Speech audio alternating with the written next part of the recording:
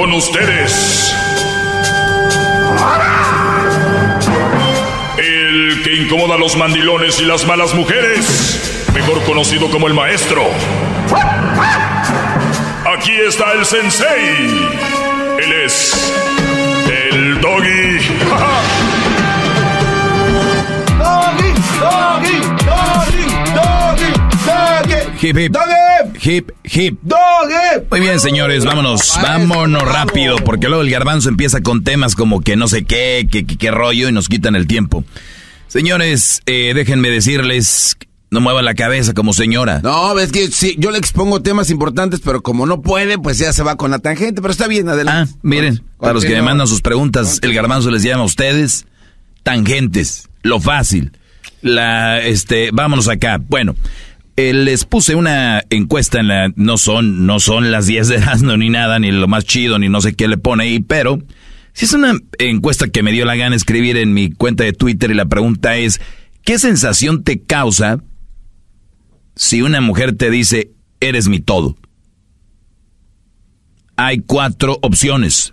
Felicidad, confianza, miedo o preocupación. Repito, porque sé que son lentos. ¿Qué sensación te causa si una mujer te dice, eres mi todo? ¿Qué, ¿Cómo te sientes?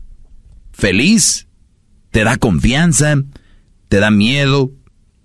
¿O preocupación? Puse miedo y preocupación por dos razones.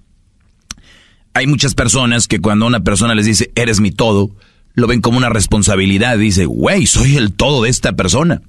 O sea, entonces por eso les, les da como, como, como miedo decir, ¿no? Cuscús. Y preocupación es, a ver, de todas las cosas que hay en tu vida, yo soy todo, tu todo. Y muchos que me están escuchando van a decir, Doggy, es un decir, güey, eres mi todo. Mu- muchachos, déjense de payasadas. Por eso hay tanto divorcio, tanta mujer insegura, tanta mujer tóxica, hombres tóxicos también, tantas personas posesivas que creen que les pertenece a otra persona. Pues déjenme decirles algo. Hay noticias. Les tengo noticias. Muchachos, tú sales de tu jefa. Primero estás en el hombre, porque como dice el perro Bermúdez, cuando a un jugador de fútbol le pegan en los testículos, dice, ahí le pegaron donde nace la vida. O sea, los hombres damos la vida, ¿no? Entonces la inyectamos en la mujer y ellas son como una incubadora, la cual pues saca ya armado el pollito. Somos nosotros, ¿no? Y después llega un señor y nos pinta y nos vende en el mercado. No, no. No, este, somos un pollito que salimos de ahí, pero venimos de allá. De ahí, de allá. de acá del, ¿no? Entonces, una vez que estamos ahí, te desarrollas, perteneces a tu familia. Ahí naciste. Pero no perteneces en realidad del todo, porque en cierto momento vas a volar, te vas a ir. Hay unos más labregones, como dicen los señores, que ahí se van a quedar, y a veces está bien, porque pues, a veces hasta se quedan ahí a cuidar a los papás. Pero sí es muy interesante que ellos o nosotros como individuos conozcamos a alguien de otro estado, de otra ciudad, de otra familia, y creamos que ya porque hubo una conexión tal vez de, de sexual o una conexión bonita o algo así, conectamos en cierta forma y empezamos a sentir algo, creemos que esa persona ya nos pertenece. O sea, vean todo el recorrido que hice para que más o menos entiendan que hay personas que tú conoces en diciembre de este año y para el diciembre, o sea, en 12 meses crees que ya es tu todo, te pertenece, es tu vida. ¿Qué pedo traen en la cabeza? En serio. ¿De verdad qué tienen, Brody? Yo, yo entiendo que puedes querer, amar y, y- alguien te puede ilusionar para crear una familia, todo esto está bien, pero ahí detrás tienes que tener bien claro que no es tuyo o no es tuya y es algo que hace mucho daño. Por eso a mí cuando me viene y me dice, es que el amor es loco, no, el amor es tonto. Y yo por eso les hablo de un, de ser el, el hay que enamorarse inteligentemente, pero como no hay una dirección, no leemos, no vemos un video o no escuchan programas como el mío, pues qué dirección podemos tener.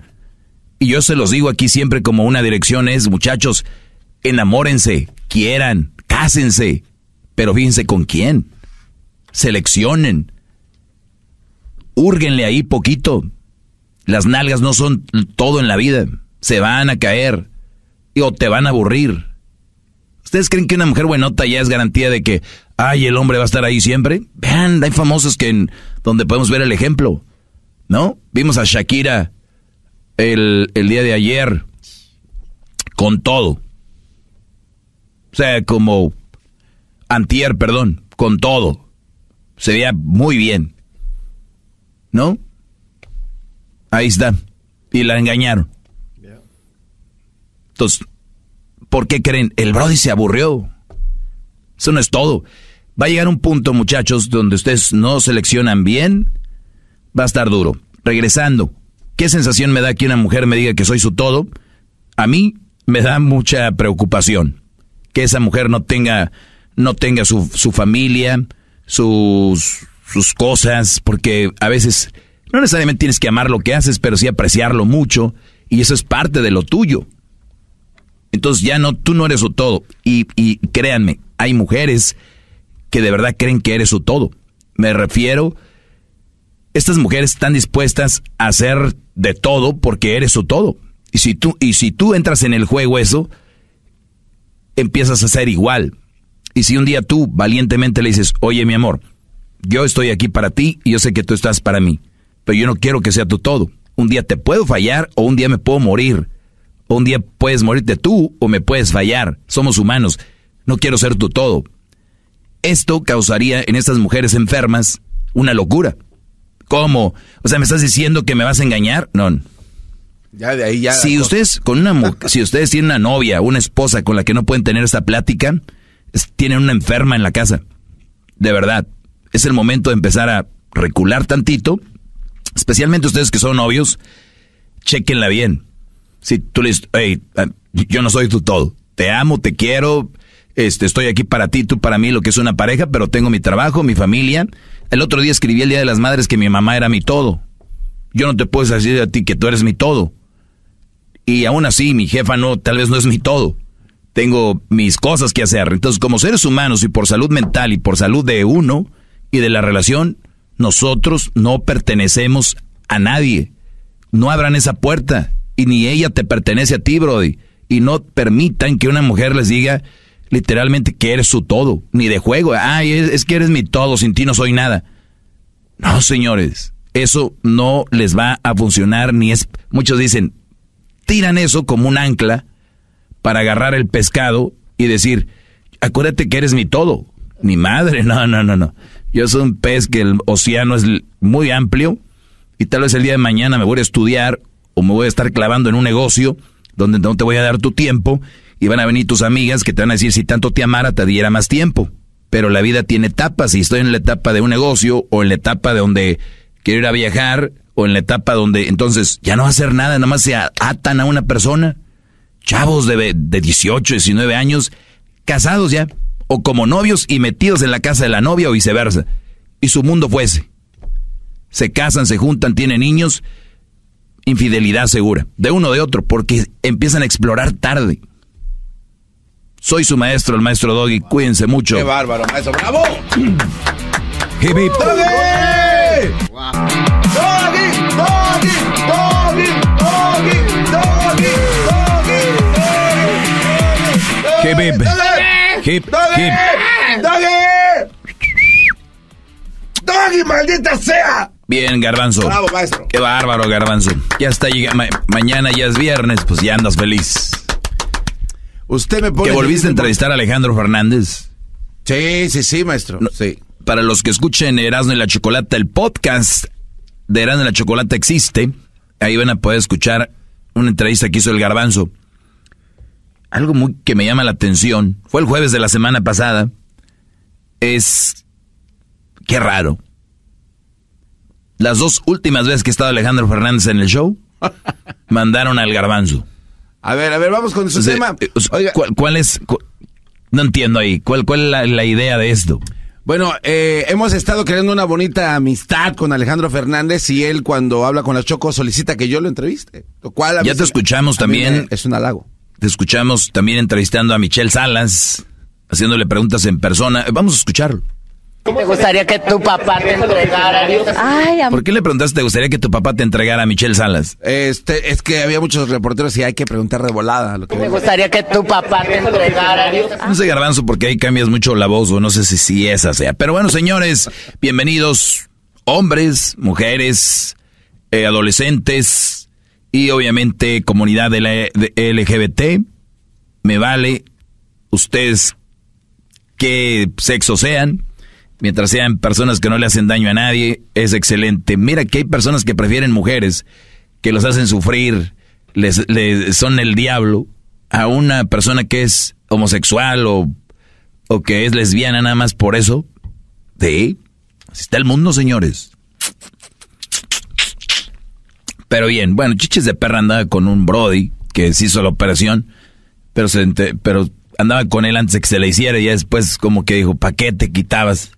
Pero vamos señores con la primera pre- eh, la pregunta del día de hoy, jueves, y es la siguiente aquí con, ¿qué ¿Le garbanzo? puedo cuestionar algo de su clase que tuvo temprano, maestro? De la, cla- de la mini clase. Sí. Que de lo que dije de que si una mujer te dice que eres su todo, que aguas. Sí, sí, sí. Lo que pasa es que eh, hay dos preguntas en una. La primera es, ¿existen dos verdades o hay solo una verdad absoluta? Y le puedo dar un contexto. A ver. Lo digo. Porque lo que usted explicaba, eh, porque puso usted una pregunta en sus redes sociales que decía, ¿qué, qué te hace sentir cuando una mujer te dice eres mi todo? Entonces usted ya dio sus respuestas y todo este rollo, ¿no? Eh, y a usted contestó que le, le ocasionaba preocupación, si no me equivoco, es lo que usted comentó. Entonces, eh, esa es una verdad, o sea, eh, tiene toda la razón. Para mí sí. Sí, sí, sí. eh, es, entonces la pregunta, ¿existen varias verdades o es solo una verdad absoluta? Yo creo que ese tema ya es muy viejo y sabemos todos que no existe una verdad absoluta eh, para ciertos temas. El, para la mayoría de temas no existe una verdad absoluta porque cada persona, hemos dicho, es un mundo. Pero cada que alguien tenga una verdad, yo nada más les pido una cosa. Que le hurguen por qué esa es su verdad. Porque muchos ya nacen con unas verdades que les metieron desde chavitos, pero nunca les, nunca le han hurgado y han dicho por qué. De hecho, muchos, el hecho de cuestionar eso, creen que cuestionan las enseñanzas de la familia, las enseñanzas de todo. Dicen, no, no, no. A mí me dijeron que una mujer es lo más preciado que hay. Entonces, esa es su verdad absoluta para él. Pero de verdad es, las, es la verdad absoluta En, en- en su- o sea, si, la absoluta si la investiga y la empieza a hurgar, de verdad, una verdad absoluta, tal vez le pueda abrir los ojos y diga, ay, güey, creo que, ¿no? Entonces, para mí, la verdad absoluta es preocupante que una mujer te diga eres mi todo por lo que ya expliqué y no lo voy a, no lo voy a hacer en esta clase. Eh, muy bien, maestro. Entonces, la, la pregunta que nace después de analizar esto que le voy a preguntar es que creo que lo que nos comentaba en su clase es, un, es, es, es falso, es un amor falso. Cuando una persona, ah, vamos a decir que alguien está muy enamorado, a mí me ha pasado, yo he llegado a decirle a eh, cierta persona que eh, es que eres mi todo. ¿por Es que no es un amor falso. No, no, permítame. Entonces, yo en ese momento sentí eh, verdadero enamoramiento con esta persona y por eso me atreví a decir, es que la verdad, sí eres mi todo, porque estaba verdaderamente enamorado de alguien. Entonces, permítame, solo rápido. Entonces, si después de escuchar lo que usted comenta, yo ya no lo digo, pero lo siento, estoy condicionando un amor, lo cual se convierte en un amor falso. Eh, al condicionarlo y no expresarlo. Por eso hablé del ancla. Por eso. Te quieren anclar sí, con sí. palabras. Sí, sí, pero si es lo que es, ¿por qué tengo que condicionarlo y convertirme yo en mi propia víctima de no expresar lo que es? Y ya no tengo ese esa libertad Gar- de, Gar- de- Garbanzo, expliqué en la clase. Sí, ¿Por qué? pero por eso, ya no hay tiempo. ¿Pero de- quieres que te explique otra vez? No, no, no, no, Bueno, maestro. entonces ya te dije. No, pero entonces es un amor condicionado. O sea, no, o sea, aunque así se sienta, Sí. nunca va, nunca va a, lo voy a decir porque usted lo dijo. Ah, no. No, no, no. Es que ya lo expliqué, pero tal vez tú estabas pensando en hacerme la pregunta. Dije, ah, tengo que hacerlo otra vez. Eh, dije que obviamente no es sano que alguien sea tu todo. Y tú dices, pero si de verdad lo amo, Sí. ajá, igual no, no debe ser tu todo. Porque Pero no, pero es que No, hay- no, escucha. Y ya lo expliqué por qué y no lo voy a hacer. Que vayan al podcast. ¿Algo más que quieras decirme, Garbanzo? nada, que vayan al podcast. Eh, me, me, ¿Qué clase de maestro es? Yo sí le tengo una pregunta sobre el mismo tema. A ver, Usted Diablito. siempre dice, damn, ah, bro, ah, ah". pero ¿cómo uno inicia la conversación con ella? ¿De qué? ¿De decirle que no eres, no es tu todo? Claro. Porque usted dice, claro, hay muchos que somos intímidos. Sí, no tienen miedo, no, no, tímidos, son miedosos. O sea, Ok, pero usted dice, bro, tienes que ser... No, no somos perros como usted, maestro. Pero usted, usted es el maestro Doggy. ¿Cómo iniciamos esa conversación? ¿Le sentamos?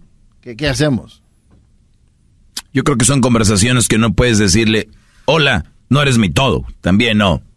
No es, es como tenerla y dejársela. No. Pero se escucha como que eso es lo Los que besitos y acá después. Es decirle, oye, es que por eso les dije especialmente a los novios. Yo mis temas los tengo bien estudiados. De verdad, si, si hacemos la Biblia del doggy, no a ver por dónde me lleguen. De verdad. Es, yo por eso les dije, desde el noviazgo, ahí es donde ustedes empiezan a ustedes poner límites, Brody. Y especialmente para, para esos que van empezando es, mira, yo tengo una forma de pensar que uno está hecho de muchas cosas. De hecho, lo dice el libro de, de Cepillo Peralta, estaba el audiolibro que me pasó acá el Erasmo y el Garbanzo, llegaron enamorados del cepillo. pero bueno, no lo dijo él, pero él, él hace, él hace este, él habla de alguien, de este, de, de este dicho que dice, estamos hechos de, las tres personas con las que más convivimos, ¿no? Como que nos son la influencia de nosotros con las tres personas que más convivimos. Y, y obviamente, si tú llegas a un punto donde una persona te tiene controlado mentalmente y todo este rollo, tú crees que de ahí es y no crees que tienes la capacidad para decirle, oye, yo no, yo no creo eso. Entonces, si desde novios tú eres la persona que dices, estamos hechos de muchas cosas y de muchas ideas y de muchas personas y todo esto, entonces yo no, yo no quiero limitarme por el bien tuyo. Imagínate qué, qué margen de sorpresa tiene tu novia o tu esposa cuando ella es tu todo. O sea, no hay margen de sorpresa. ¿Sabes qué es, qué es lo que va a pasar? Es alimentar un monstruo. ¿Han visto ese de AMPM? Como un monstruo que sale que... Que, que tiene donitas. Eh, imagínense, es, es darle tragar y tragar y nunca se va a llenar. Puf, puf, puf. Eso es lo que están haciendo, el decir, quieren que tú también digas, eres mi todo. No, no, no. Porque con esa frase vienen cosas como, si soy tu todo, ¿por qué el Día de las Madres el mariachi que le trajiste era más grande que el que me trajiste a mí? Si soy tu todo, ¿por qué los viernes prefieres ir a jugar fútbol o el sábado, especialmente los domingos? Porque si soy tu todo, eh, ves más Netflix que a mí. ¿Por qué si soy tu todo? Entonces ya lo ven. Y es que más allá de las palabras, muchachos, pónganse a pensar. ¿De verdad es tu todo alguien? Y hay gente, de verdad, hay gente que sí lo vive así. Yo conozco brodis frustrados que apenas están llevando una chava a un restaurante y ese día que llegan ya están reservando otro para otro día para el siguiente fin de semana porque eso todo ellos y eso brodis tarde o temprano desgasta y es sano y ni está bien, la verdad. Muchos ahorita que andan en ese flow, le estoy cayendo gordísimo, es más, ya le cambiaron. Oye, este güey, ¿de qué está hablando? Ella es mi todo, es mi motor, mi energía, mi gasolina, mi no sé qué. ¿Saben en qué termina eso? Son los que se bloquean, al rato regresan, se bloquean, se agarran a madrazos. Yo he visto brody rasguñados, he visto mujeres que llaman a la policía, que el otro vez el brody vuelve y claro, ¿cómo es posible que me madrió y le llamé? Es porque hay amor, si no, no le, no le llamaba. Y no hay nada más mentiroso que eso.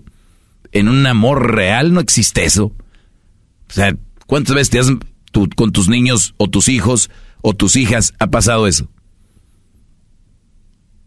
Ese es el amor real en los hijos. Y ni a ellos les puedes decir que es tu todo, ¿no?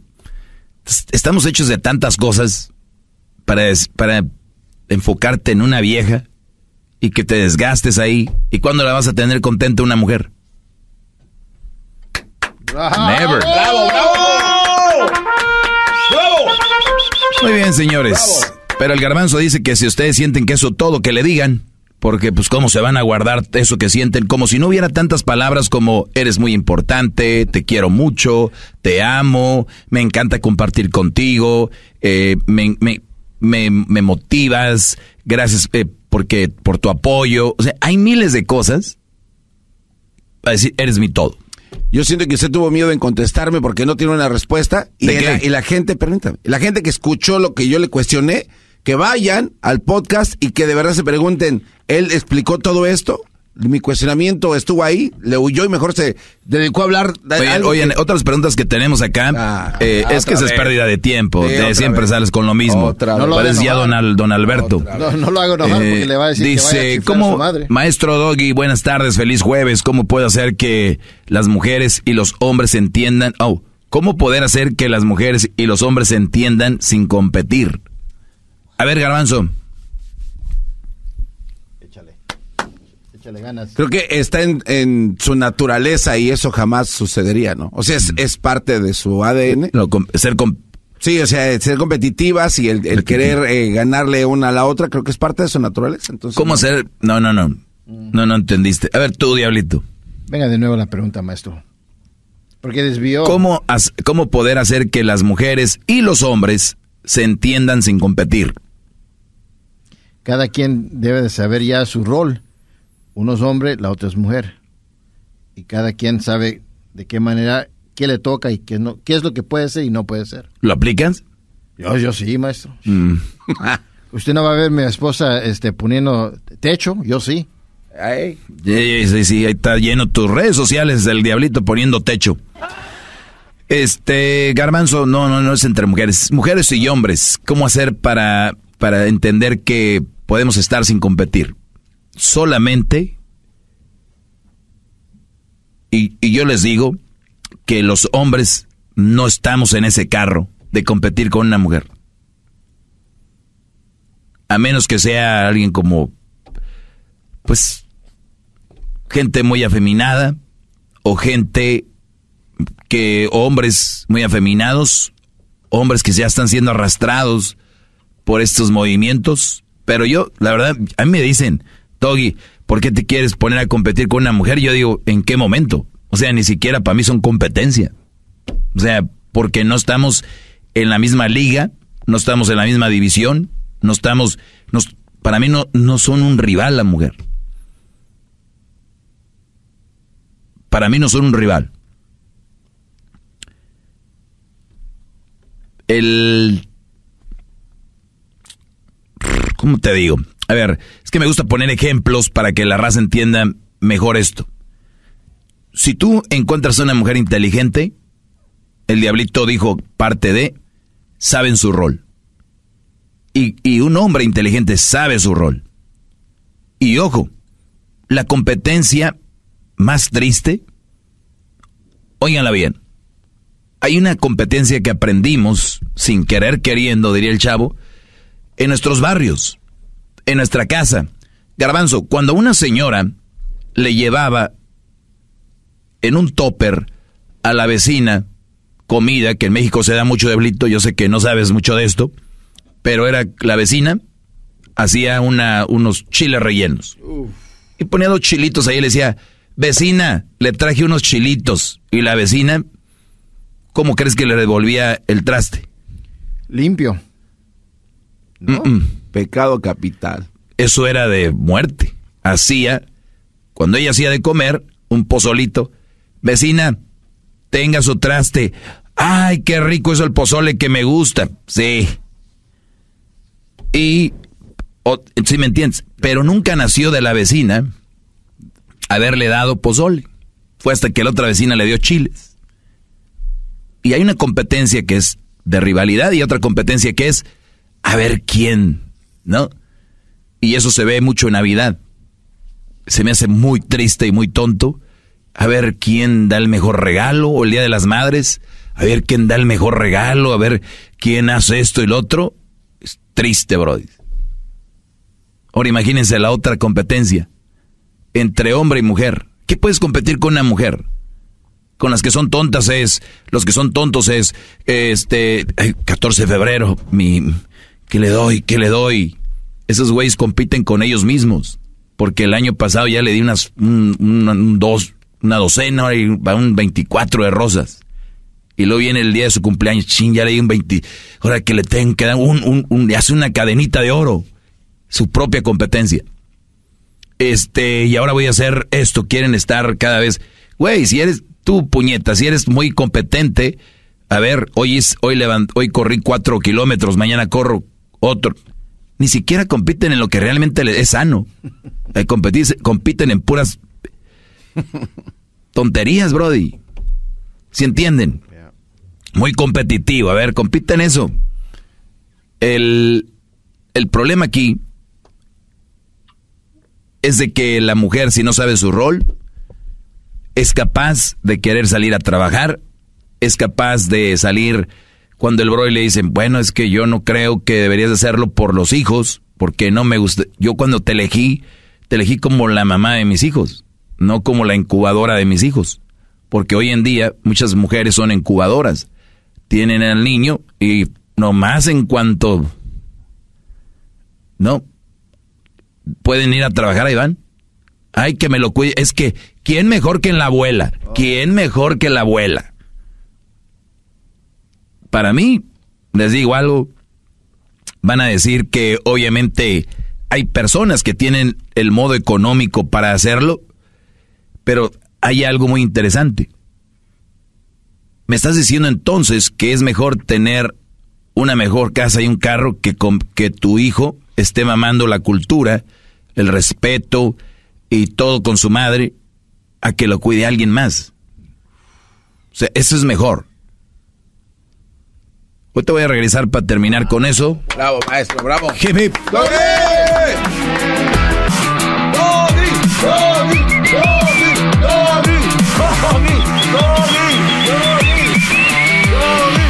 ¿Qué pasó? ¿Cómo? ¿Cómo poder hacer que las mujeres y los hombres se entiendan sin competir, Brody? Pues mira, es muy importante que tú tengas una mujer inteligente y decirle que si tú estás en tu carril y ella en el de ella, van a venir cosas buenas y, y, ahí sí, para convencerla a la mujer, tienes que hacerle un plan. Y si tú tienes un plan, es más probable que tú la puedas convencer y le digas por qué. Yo no sé cuál sea la competencia que tengan ustedes, si es de, de, de a ver quién se ve mejor, o a ver quién se viste mejor, o a ver quién gasta menos, o a ver quién gasta más, o no sé cuál sea su, competencia. De hecho, el ser humano por naturaleza somos competitivos, nada más que cada quien elige su competencia, ¿no? Hay gente que dice, pues yo fui a jugar ahí básquetbol y me vale si gano o no. Yo no soy competitivo. Pero ¿qué tal? Este, te vas al parking y te subes en un troconón, porque tu carnal o el vecino tiene un troconón. No, si eres competitivo, pero tú eliges tus competencias, ¿no? Como dicen, todos sufrimos, nada más que elegimos con quién sufrir. Entonces, como tú, Garbanzo, ¿en qué te sientes competitivo? Este, pues bueno, no sé, tal vez. Eh, bicicleta de montaña, por ejemplo. Mm. En eso. Sí. Tú, Diablito. Ah, maestro, es que yo hago muchas cosas en la casa. Este. No, ya sabemos. Doblar ropa. Lo tuyo es de, con Blanca. Yo doblé la ropa esta semana a las niñas y tú no. Las toallas específicamente. Sí, sí muy, muy difícil. Tiene, que estar dobladas de una cierta manera para que quepan en el... Wow. Sí, ahorita hay muy poco storage ahí en la casa. Bueno, pues ahí está, cada quien eh, escoge su... ¿Usted en qué es competitivo? Yo soy muy competitivo, Brody, en, en la verdad, en, en lo que son temas me gusta de repente rascarle y ver cómo yo puedo darte una mejor respuesta a una, a una situación o tema. Yo por eso a ustedes les hago preguntas porque me gusta verlos cómo pierden contra mis respuestas. O sea, yo estoy aquí y cada vez me doy más cuenta cuando les pregunto a ustedes, las preguntas esas yo no las estudio, yo las, ya saben cómo me las envían. Entonces, quiero que me agarren de caballazo, de, de desprevenido, igual que ustedes, y, veo que sus respuestas son, la verdad, muy tontas y vacías. Su, inseguridad es obvia. Y por eso yo a veces digo que le dé el público a alguien que me dé pelea, a alguien que, pero no, pues ya, ya más que 15 años haciendo esto, entonces como que ya la gente corrió, como que ya tuvieron miedo.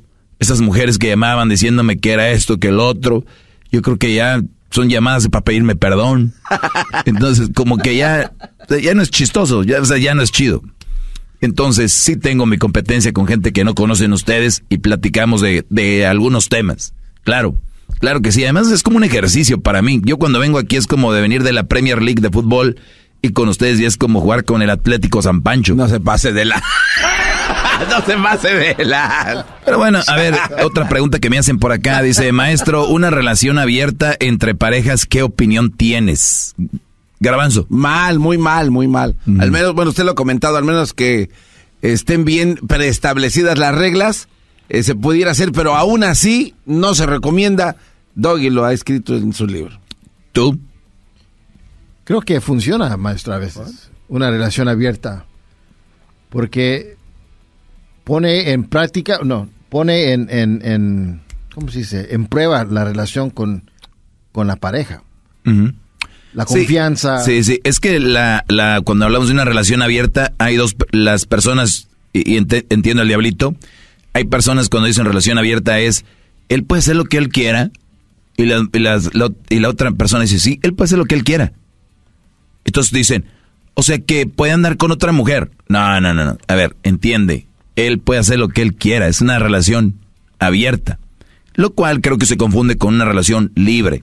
Entonces, una relación libre es aquel que su mujer o su, bueno, se dan libertad y es una relación que es libre.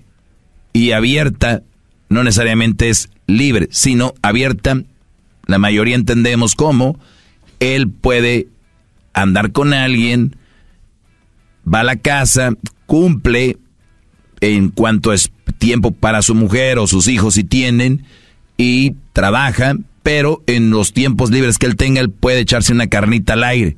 O sea, va a un, a un lugar y si hay algo, ¡zas! Ella también, porque pues como ya está establecido, dice el garbanzo, de que él no tiene ningún problema con que ella, este, pues de repente se encontró un Brody que le gustaba ahí en la barra, ¿no? Y ella pues dijo, pues vamos a darle, ¿no?